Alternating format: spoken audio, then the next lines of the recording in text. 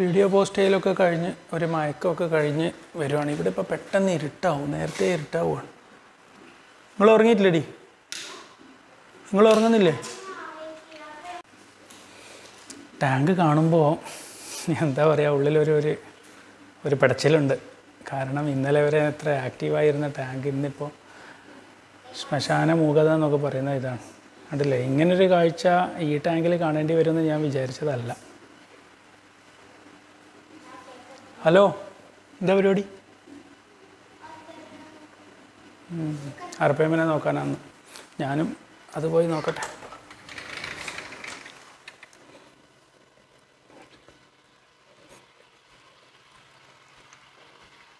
രണ്ടാമത്തെ മെഡിസിനും കൊടുത്തായിരുന്നു. എന്താണോ?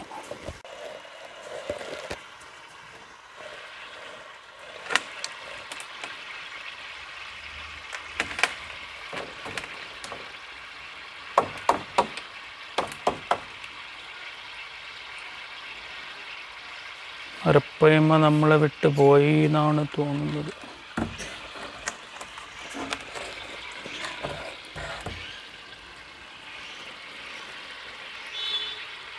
ഫ്രണ്ട്സ്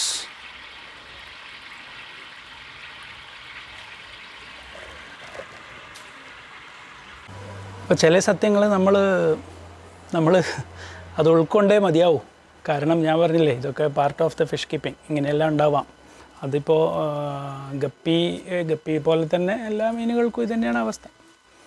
അപ്പോൾ ഈ ഒറ്റ വിഷമേ ഉള്ളൂ. ഞാൻ പറഞ്ഞില്ലായിരുന്നോ? ഇവൻ നമ്മുടെ കയ്യിൽ ഒരു വിരൽ സൈസുള്ളപ്പോൾ വന്നതാണ്.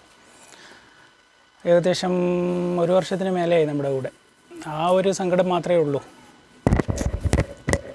എന്താ പറയുക എല്ലാം അങ്ങ് മറന്നു പോകും ദ ഷോ മസ്റ്റ് ഗോ എന്ന് പറഞ്ഞ പോളിസിയാണിപ്പോൾ നമ്മൾ ചില കാര്യങ്ങൾ നമ്മളങ്ങ് ഉൾക്കൊള്ളുകയാണ് അതിന് ടൈമായിരുന്നു അതുകൊണ്ട് അത് ചത്തുപോയി. അത്രേ വിചാരിക്കാനുള്ളൂ ഇപ്പോൾ സഡൻ ട്വന്റി ഫോർ അവേഴ്സിനിടയിൽ എല്ലാം തീർന്നു.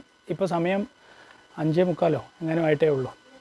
ഇന്നലെ ഈ സമയത്തൊക്കെ വെരി ആക്റ്റീവായിരുന്നു ഇന്ന് രാവിലെ സെവൻ തേർട്ടിയിലാണ് ഈ ഒരു സ്റ്റോറി തുടങ്ങിയത്. വൈകുന്നേരം അഞ്ചേ മുക്കാലോ അഞ്ചോ എത്ര സമയമാടി ഫൈവാ ഫൈവ് തേർട്ടി ഫൈവ് ആണ്. അവൾ ഫോർ തേർട്ടി ഫൈവ് എന്ന് പറയാം. ഏതായാലും ഈ ഒരു സമയമാകുമ്പോഴേക്ക് എല്ലാം തീർന്നു. ഇനിയിപ്പോൾ നമ്മൾ എന്ത് ചെയ്യണം? അതിനെ പാക്ക് ചെയ്തിട്ട് ഇവിടെയാണെങ്കിൽ ലീവുമാണ് ഇല്ലെങ്കിൽ പിന്നെ സാമ്പിൾസ് മാത്രം ലാബിലേക്ക് കൊണ്ടുപോയി പഠിക്കേണ്ടി വരും.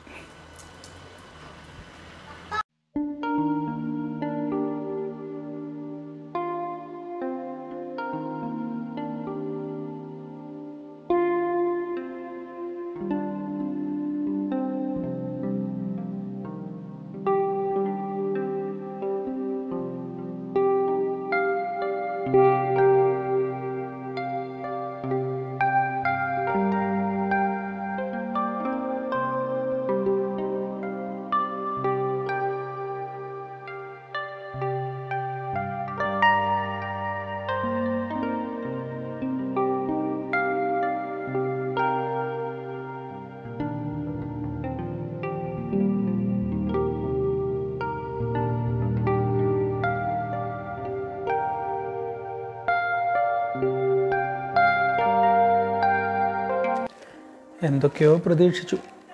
ഇരുന്നൂറ് കിലോ ആവുന്ന മീനാണ്. അപ്പോൾ ഒരുപാട് വളരും. ഇനി നമുക്ക് പുറത്തൊരു പോണ്ട് ഉണ്ടാക്കിയിട്ട് പുറത്തോട്ട് മാറ്റാം. അങ്ങനെ പല പ്ലാനുകളുണ്ടായിരുന്നു നമ്മൾ ഓരോന്ന് തീരുമാനിക്കുന്നു. ആ വിധി വേറെ രീതിയിൽ വരുന്നു. അത്രയേ ഉള്ളൂ.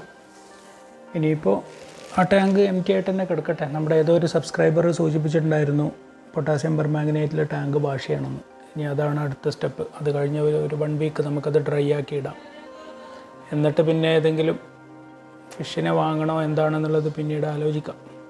ഏതായാലും നമ്മൾ ഈ ഒരു ഇൻസിഡന്റ് കൊണ്ട് ഫിഷ് കീപ്പിംഗ് ഹോബി വിട്ടിട്ട് പോകുമൊന്നുമില്ല കാരണം ഇത് നമ്മുടെ ഇരുപത്തഞ്ച് വർഷത്തിൽ ഇത് ഇരുപത്തഞ്ച് വർഷത്തെ ഹോബിയിൽ ഇങ്ങനെ ഒരു സംഭവം ആദ്യത്തേതാണ്. കാരണം ഇത്രയും വലിയൊരു ഫിഷിന്റെ അടുത്ത് നഷ്ടപ്പെട്ടു പോയിട്ടില്ല ഇതുവരെ. അപ്പോൾ അതാണ് രാവിലെ പറഞ്ഞ വരാനുള്ളത് വഴി തങ്ങില്ല പിന്നെന്താണ്? വേറൊരു സബ്സ്ക്രൈബർ ചോദിച്ചു എത്ര പൈസ ചിലവ എത്ര പൈസയാണ് നഷ്ടം വന്നതെന്ന്? പൈസ നഷ്ടം വരുന്നത് നമ്മൾ ഈ ഒരു കാര്യത്തിൽ നോക്കിയിട്ട് കാര്യമില്ല. കാരണം ലാസ്റ്റ് ടൈം റിട്ടെയിൽ ക്യാറ്റ് ഫിഷിനൊക്കെ കൊണ്ടുപോയപ്പോൾ അവർ ഈ ഒരു ഫിഷിനെ കൊടുക്കുകയാണെന്നുണ്ടെങ്കിൽ രണ്ടായിരത്തി അഞ്ഞൂറ് ദിർഹം കിട്ടും എന്നാണ് പറഞ്ഞത്. എന്ന് വെച്ചാൽ നാട്ടിൽ ഏകദേശം അമ്പതിനായിരം എന്ന് വെക്കാം. പക്ഷേ ആ നഷ്ടമല്ല ഇപ്പോഴത്തെ ഇവിടുത്തെ നമ്മുടെ വിഷയം അതല്ല. നമ്മൾ അത്രയും കാര്യമായി വളർത്തിയിരുന്ന ഒരു ഫിഷ് നമ്മൾ വിട്ടുപോയി എന്നുള്ളത് മാത്രമാണ് ഏതായാലും ഇന്നത്തെ ദിവസം ഞാൻ നമ്മുടെ സബ്സ്ക്രൈബേഴ്സിനെ വല്ലാതെ എന്താ പറയുക ഈ സങ്കടകാര്യങ്ങൾ മാത്രമാണ് ഇന്ന് നമ്മുടെ മൂന്ന് വീഡിയോകളിൽ ഞാൻ പറഞ്ഞത്. രണ്ടാമത്തെ വീഡിയോ കുഴപ്പമില്ലായിരുന്നു കാരണം അത് ആ ഡിസീസിനെ കുറിച്ചുള്ളതായിരുന്നു. പക്ഷേ ആ രാവിലത്തെ വീഡിയോയും ഇപ്പോൾ ഈ രാത്രി അപ്ഡേറ്റ് വീഡിയോയും കുറച്ച് ഓവറായോ എന്നൊരു സംശയം. അതുകൊണ്ട് ഇന്നത്തോടെ നമുക്ക് ഈ- ഈ കാര്യങ്ങളെല്ലാം അങ്ങ് മറന്നിട്ട് നാളെ ഫ്രഷായിട്ട് വീണ്ടും പുതിയ ദിവസം. Bye bye.